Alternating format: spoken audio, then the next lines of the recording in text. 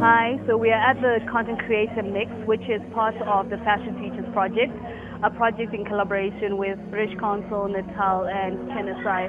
The whole idea of the Fashion Futures was to um, discover undiscovered and underground fashion talent across four countries, which was Malawi, Namibia, the UK, and Zimbabwe. So we had four different content creators with four different backgrounds.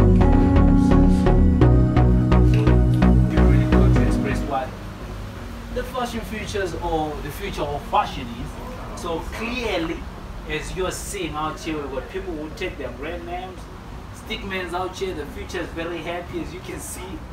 Bright inclusivity, Ubuntu, chevron pattern. I, excuse, excuse my Your English name. my tonnage or my tonnage, but this is exactly how we're going to do it. So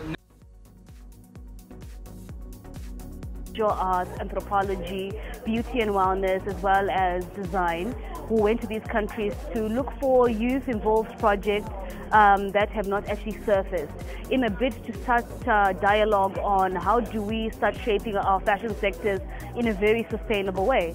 So this content creator mix, we have invited the Ministry of Culture, Youth and Culture and Recreation, as well as Zimtrade, um, in a way to start defining the value chain uh, that is part of the fashion sector. We've done extensive work um, uh, with the uh, with Zimtrade, and uh, Zimtrade has been very resourceful in trying to get us expertise to come and help us define what's happening in our space.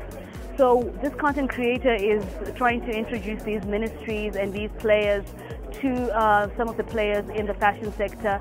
Uh, going forward, we are going to be continuing. Voices of Fashion is a fashion hub um, that is going to continue to do work that is instrumental in shaping the happenings in our fashion sector.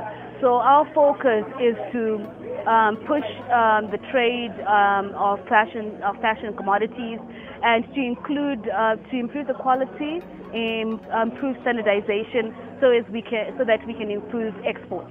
So as you know, value chains are important in anything that we do. So thank you so much for being here, the CZW, and uh, we're excited to be here and look forward to the future. Bye.